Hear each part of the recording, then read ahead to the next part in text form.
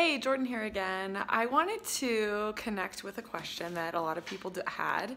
Um, why does Plexus have a diversity of results? Meaning, why does Plexus help people with lupus? Why does Plexus help people with celiac?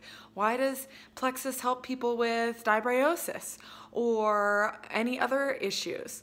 And the answer to that is because most of our illnesses stem from the gut. And Plexus products aim to heal the gut, provide it and equip it with probiotics to help fight off any future toxins that enter the gut and has some cleansing effects. So when you think about it and you start to understand the research, 70% of the cells needed for our immunity live in the gut. 80% of illnesses stem from the gut, of autoimmune illnesses.